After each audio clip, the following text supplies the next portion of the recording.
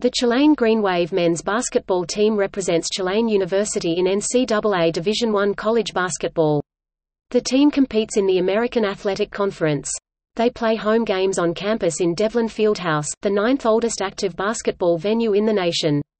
The team's last appearance in the NCAA Division I men's basketball tournament was in 1995.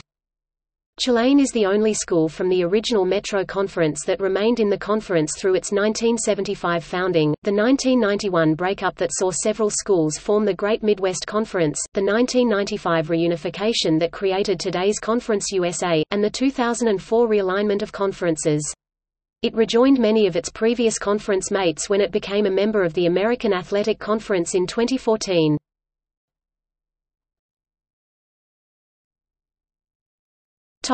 History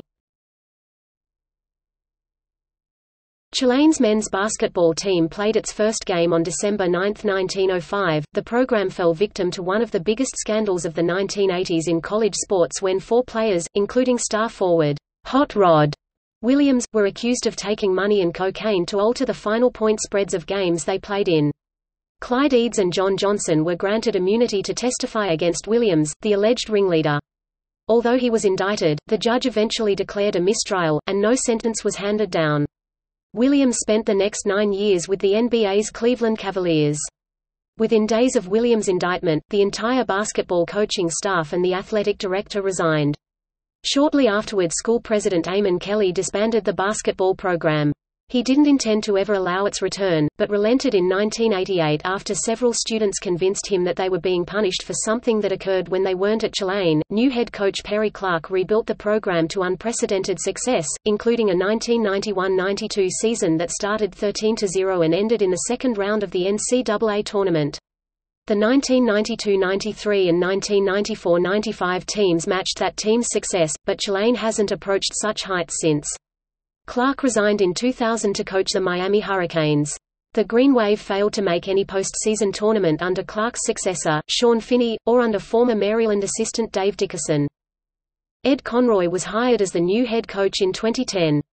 His teams have seen initial success against out-of-conference foes in each of its seasons but have done poorly in conference games. The 2010-11 team finished 13-17 after a 12-3 start, while his 2011-12 team finished 15-16 after starting 14-6. On March 14, 2016, Tulane fired Conroy after six years as head coach. He was replaced by former longtime NBA coach Mike Dunleavy Sr. On March 16, 2019, after a 4-27 season, the Tulane Athletic Department fired Mike Dunleavy Sr.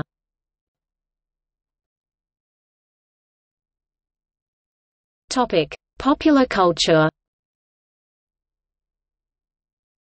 In the 1992 sports comedy film White Men Can't Jump, character Billy Hoyle mentions he is a former Green Wave player.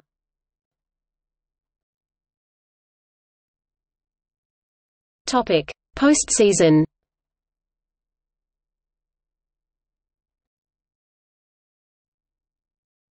Topic: NCAA tournament results.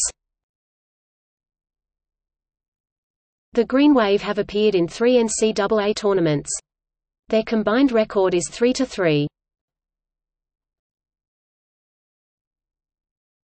Topic: NIT results. The Green Wave have appeared in six National Invitation Tournaments NIT. Their combined record is 7 to 6. Topic: CBI results. The Green Wave have appeared in one College Basketball Invitational (CBI). Their combined record is 0 to 1. Topic: CIT results.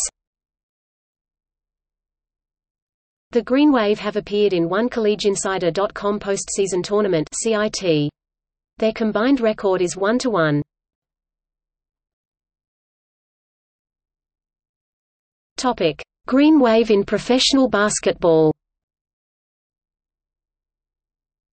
The following Green Wave players have played in the NBA Hot Rod Williams Linton Johnson Paul Thompson Gerald Honeycutt Melvin Frazier Cameron Reynolds.